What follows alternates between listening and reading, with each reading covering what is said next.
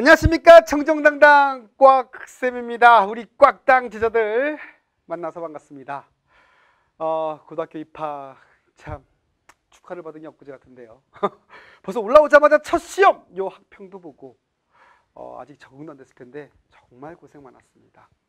특히 어, 이번 시험 많이 또 어려웠다는 얘기를 듣고 되게 안타깝더라고요.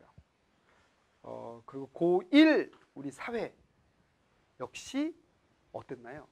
어려웠어. 커뮤니티 그 글 같은 거 막 보니까 어려워요. 선생님 너무 힘들어요. 그래. 요번 시험이 조금 딴 때보다 어려운 것도 있지만 여러분 이제는 대부분이 이제 고등학교에 딱 첫 경험. 음, 다들 어렵다고 그래요. 근데 그걸 좀 받아들였으면 좋겠습니다. 물론 힘들어. 아, 아직 적응도 안 돼서 고등학생이 뭔지도 모르겠고 내용도 많아지고 막 책가방도 무겁고 할 것도 더럽게 많고 아직 새 선생님의 새 친구들의 새 학교에 적응할 것도 되게 많은데. 근데 여러분이요 음 이제 고등학생이야 그게. 어 일단 마음부터 좀 살짝 받아들이세요. 이게 고등학생이구나. 그래 다들 힘들어하는데 이제 잘해보자. 아 이거 장난 아니네 이거 야 중학교 전체 내용을 갖다 시험을 보고 있네. 이제 이렇게 적응이 돼야 돼. 중학교 때야 내신 시험이 중심이었잖아요. 이제는 앞으로 중간고사, 기말고사, 중간고사, 기말고사 내신 관리 이제는 대학 가기 위해서 열심히 준비해야 되죠. 중요합니다. 근데 그거 하면서도 이제는 전체 범위를 제대로 이해하고 제대로 알고 있는지를 이렇게 학평 이런 걸로 시험을 계속 체크할 거란 말이야.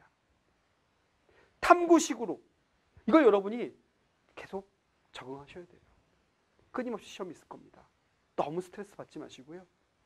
그냥 내가 어느 정도의 지금 공부 정도의 실력이 되는구나. 이제 3년 동안은 내가 진짜 공부에 한번 미쳐보자. 공부랑 그냥 끝까지 나랑 같이 가는 놈이구나. 그 생각하면서 받아들이면 좀 마음이 편해질 거예요. 그리고 같이 내가 열심히 달려보겠다.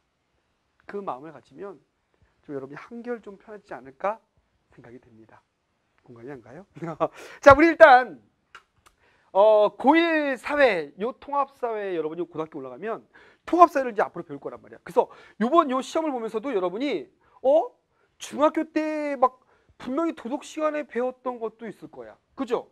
근데 그게 시험 문제 나왔고 분명히 사회 시간에 지리 쪽에서 배웠던 것 같은데 어? 요거는 언제 배웠던 건데? 이렇게 막 섞여져 있는 느낌이 날 거예요. 즉 여러분 이거부터 알아두셔야 돼. 일단 일단 통합사회라는 거. 우리 통합사회라는 과목은요. 선생님이 어 뭐 촬영해 놓은 것도 많긴 많이 있는데 일단은 사회가 다 통합되어 있는 거야. 그죠? 기본적으로 물론 역사도 통합이 돼 있지만 역사 영역 정도는 어, 따로 시험 보잖아. 한국사라는 게 있잖아. 그래서 역사 영역의 내용들은 우리 고1 사회, 이 통합사의 거의 내용은 많이 없어요. 근데 살짝 살짝 조금 조금씩 들어가 있을 건데 거의 시험에 출제를 되지 않아.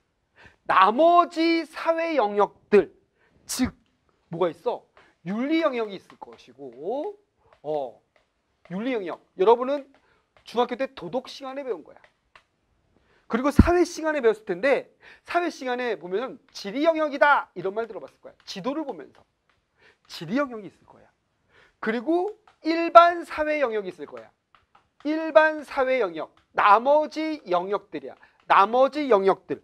일반적으로 어 일반적으로 사람들이 함께 살아가면서 하는 영역들이 있어.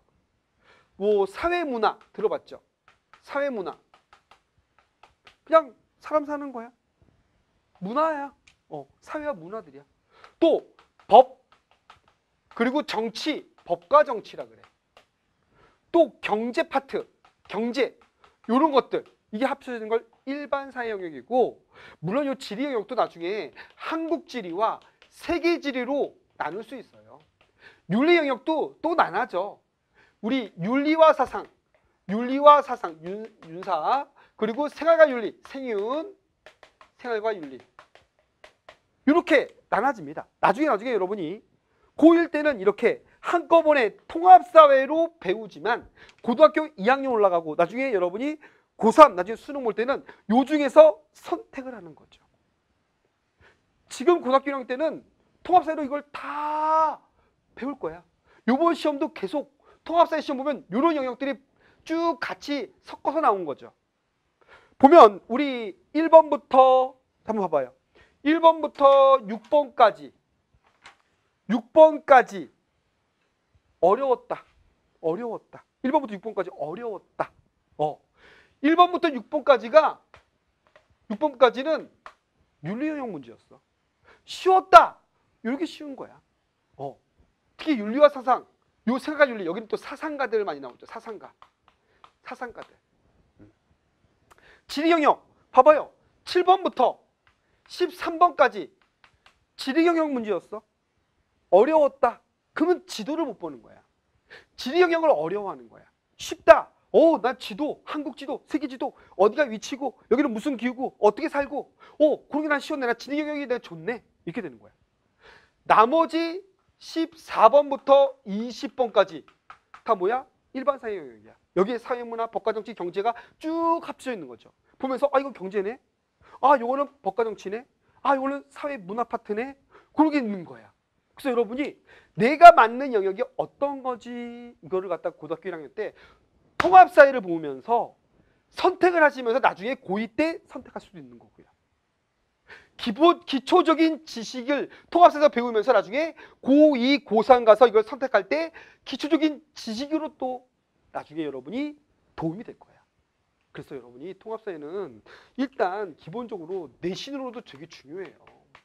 내신 관리 중요합니다. 그리고 나중에 여러분이 수능 갈 때 이런 기초의 내용들이 여러분이 알 수 있고 나중에 선택할 때도 유리하다는 거 보고 잘 여러분이 좀 어, 내신할 때 정리를 좀 잘했으면 좋겠어. 이런 걸 좀 알면서. 자, 그래서 우리 중학교 때 또 배웠던 내용들이 다 이거를 융합해서 배웠던 거예요. 어. 여러분이 지금 해설을 보면서 아 어떤 문제가 어렵고 어떤 문제가 쉬웠고 내가 어떤 영역에 좀 더 쉽고 어떤 영역을 내가 좀 어려워하는구나 그런 거 좀 잘 생각하면서 또 정리한다면 어, 여러분이 또 도움될 거고 특히 지금 이 시험 보는 것도 전부 다 다 뭐야 거의 다가 대부분이 어, 우리 고등학교 1학년 통합사에서 또 배울 내용들이야. 진짜로. 자, 우리 그러면 1번부터 문제를 우리 하나씩 하나씩 좀 풀어보도록 하겠습니다. 1번. 이건 되게 쉬운 문제였죠. 그냥 이건 뭐 그냥 일반적인 상식이었어. 다음 가상편지를 쓴 사람의 입장을 보기 위해서 고른 것은 누구에게? 자네가 바람직한 친구 관계에 대해서 물었기에 편지를 쓰네. 공자는 여러분 그런 거 고민하지 않나요? 요즘 친구가 과연 뭘까? 친구는 많을수록 좋은 것인가? 아니면 친구는 진정한 친구 한 명만 있으면 좋은 것인가? 친구는 도대체 뭔가? 우정이 우선인가? 사랑이 무엇인가? 뭐 이런 거. 지금 그럴 나이인데. 자, 아무튼 친구 관계에 대해서 물었기에 그래서 답장을 쓴대요. 공자는 뭐라 그랬냐면 세 사람이 함께 길을 간다면 그 중에 반드시 나의 스승이 있다라고 했대요. 자, 그 말씀은 친구들에게 좋은 점이 있다면 아, 얘 좋은 점이 있다면 내가 본받아야지. 또 옳지 않은 점이 있다면 아, 쟤 저렇게 왜 저러지? 그런 점이 있다면 아, 저렇게 하면 나도 그런 실수를 하겠구나. 저건 하지 말아야지 하면서 바로 잡아야 한다는 그런 의미로도 볼 수 있다는 거지. 또한 진정한 친구라면 뭐라고 하는 거야? 진정한 친구는 그 잘못을 어떻게 고칠 수 있도록 조언을 해야 된대. 고칠 수 있도록 조언해야 돼. 이게 뭐 어떤 건지 우리 그냥 이 내용만 보고 입장 이, 이 사람 쓴 입장이 뭐야? 국어야 이거 완전히 그냥 그냥 상식이야. 친구 사이에 서로 친구해서는 안 된대? 아니 조언하라 그랬잖아. 무슨 친구를 하지 말래. 그건 진정한 친구도 아니지. 또 그걸 못 받아줘? 그건 진짜 친구도 아니지. 이거는 개인적인 내용이에요. 어, 근데 여기서 이 입장에서도 그렇잖아. 친구 사귐은 인격 함양에 도움이 되어야 한다. 오, 이 입장은 도움이 돼야 한대. 도움이 될 거래. 언제나 스승은 있대. 좋은 점 나쁜 점 보면서도 아 내가 그거를 아 고쳐야겠구나. 아 저건 저걸 본받아야겠구나. 해야 된다는 얘기지. 친구의 선한 행실을 자기 본보기로 삼아야 한다. 그래 그렇게 얘기하고 있잖아. 친구의 행동이 옳은지 그른지를 판단하지 말라는 거야? 판단해야지 내가 이게 나쁜지 좋은지 할 거 아니야. 그죠? 그래서 니은과 니은 답은 3번. 굿. 그건 별로 어렵지 않죠. 그죠?